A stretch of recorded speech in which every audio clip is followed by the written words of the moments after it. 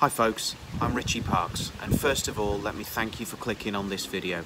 It means the world to me that you guys are even here in the first place. Let me welcome you to this first video in a brand new YouTube channel I'm calling Wild Astro. Wild Astro is a project I've been working on throughout 2019 after deciding I really wanted to try and bring together my two hobbies of camping and astrophotography. I decided I wanted to get outside and wild camp, just me and my camera. So what do I hope for from this project? Well, anyone out there who's perhaps thinking of wild camping, likes the look of it, likes the idea of getting out there, I hope you look at this and think, yeah, this guy can do it, so can I.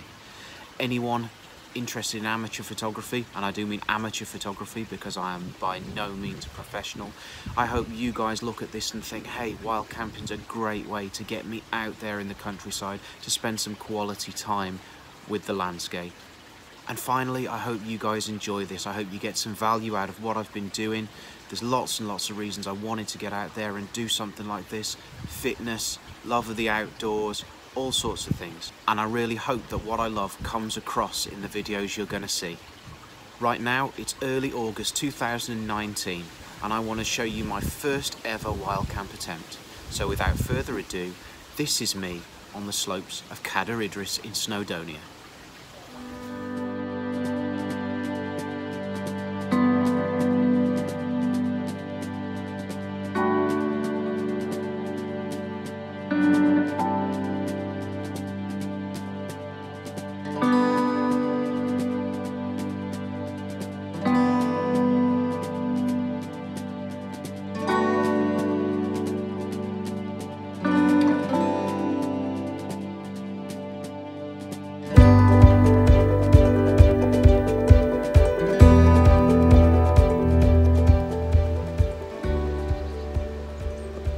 Okay folks, just wanted to give you a quick overview of what we're doing today, what the plan of action is and how we're getting to where we're going. Um, so here's the map. Okay, we are parked there, centre screen now. That is the Cadair Idris Pony Path car park there. Okay, and what we're doing is we're following this path here, until we reach this major junction of ways here, and then we're going to take a left and follow this dotted line around the base of the cliffs to Llyn y Gadair. The plan is, where this little lump is in the side of the lake here, we're going to just come around that and camp around about here, hopefully. And we'll see how that turns out when we get there. Could be windy. We might end up looking for an alternative campsite. But we'll crack on. Massive thanks to whoever funds and does the work on these paths. These are uh, seriously helpful, really, really good.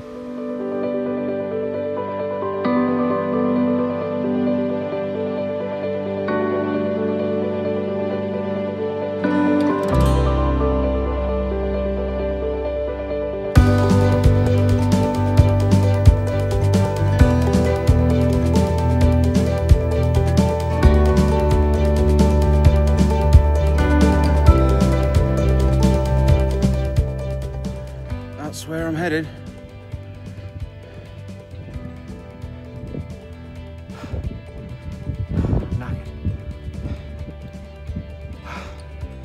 Found the turn to the path. Found the right left turn off the path. Uh, it wasn't very obvious. There is a sign for y uh, but he seems to be on the wrong side of the stream. I don't know if I'm if I am on the right path. I'm, I'm, sure I am. I'm going in exactly the right direction. I'm hitting all the all the points I would expect to hit. But um, yeah, the sign for y is just it's a lump of wood in the ground off to the side of the path, and it seems to be in the wrong place. I'm definitely on a path. I mean, here it is. It's quite clear, boggy in places, but there it goes off up that way.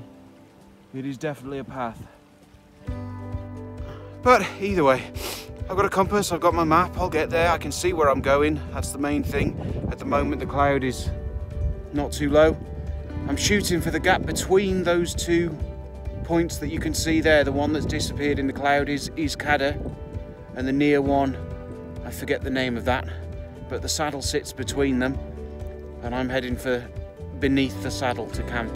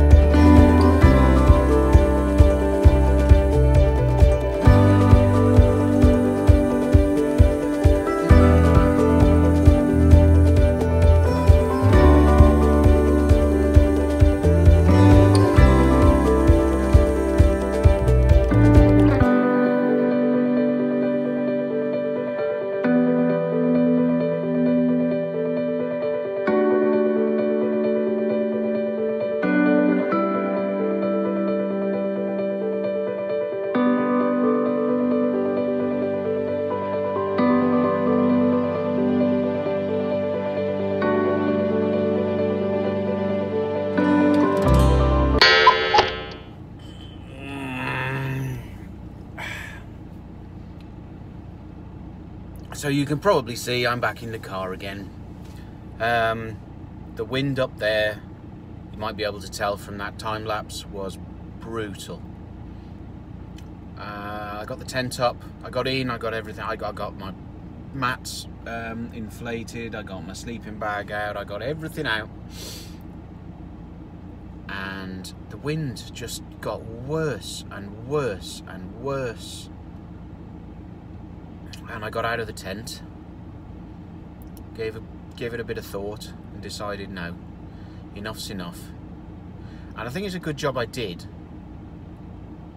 because as I was putting the tent away I found that one of the poles had already bent. So that's something I need to deal with before next time.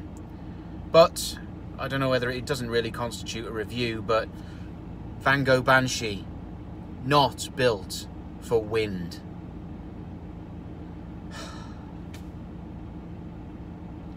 Better luck next time, Rich. See you again, guys. Take it easy. And that was that. Wild camping isn't all champagne and roses, folks. It doesn't go to plan every single time. I hope you enjoyed it though. I certainly did, and I got a lot of experience from it that I could use to work on my next trip. After my trip to Cadair Idris, I decided I'd stay a little bit closer to home on my next trip. I'll be bringing you that video really soon. My next video is based on an idea that was given to me by one of the great folks over at Wild Camping UK on Facebook.